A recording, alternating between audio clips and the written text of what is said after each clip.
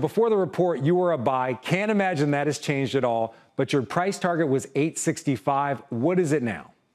910. So we raised the price target. You know, obviously numbers went up, and uh, there were a lot of notable things, Frank, coming out of the quarter that uh, I think investors potentially were a little bit concerned about and uh, relieved to hear. Right? There's been this question and debate around the sustainability of what we've been seeing with NVIDIA numbers really up and to the right over the last three quarters. And uh, last night we got another $2 billion beat, and more importantly, sort of a raise um, against consensus for the first quarter, for the April quarter, and NVIDIA commentary that demand far outstrips supply for new products. So uh, really interesting, you know, as you think about the sustainability of what, we, what we've been seeing here. All right, so Ruben, I mean, the street's ecstatic about this report. You're coming in with a price target raise and also concerns. So, what was number one among the concerns you had? One of the things that we talked about with one of our reporters, Arjun Kharpal, was the China business. Is that a concern for you? And, and, and again, what's your top concern?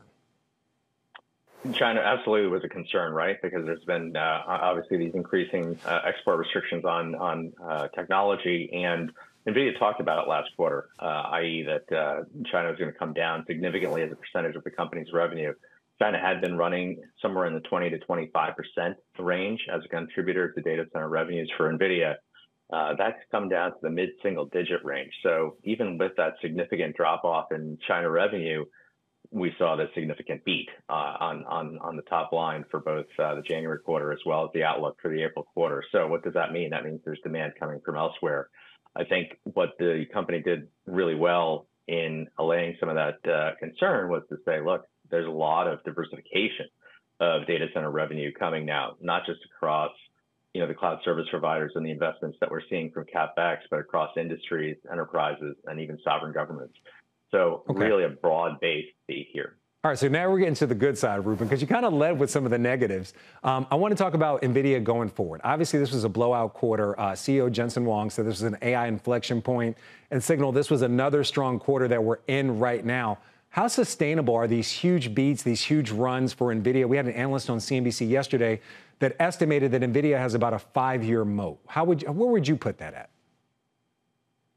Uh, well, gosh, I'm not going to uh, put a put an actual number on it, but I would say that the moat is, an extensive moat. And so AI, in our view, it comes it's a three pronged approach. Right now, you've got hardware, which is the GPUs, and the system that the GPUs come on. It's networking, which NVIDIA is fine tuning for their own GPUs, so making very efficient networks for the clusters of GPUs, but also software.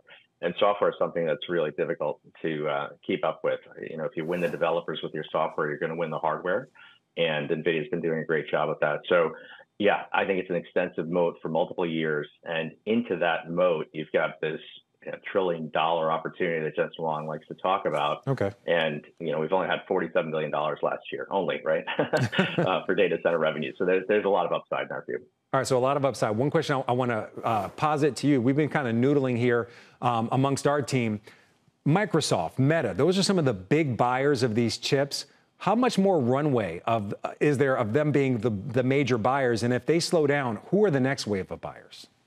Yeah, so that's a great question, Frank, because you've got this debate as well on, you know, right now, most of the capex from those cloud service providers are going into these large language model training clusters. So that's a big, heavy lift spend. And the debate's been, well, what happens when, you know, that capex starts to slow? Can't be sustainable, right? And then we get into the so-called inference area of AI. I think NVIDIA did a great job on the call last night saying that last year, that $47 million or so of data center revenue, 40% of that was driven by inference. So it's already happening for NVIDIA, right? They're getting into these other areas of the spend. So that's enterprises, industrial industries, and uh, the sovereign governments, like I've said. So I think there's a lot of diversification behind the cloud service provider spend as we look ahead into future years.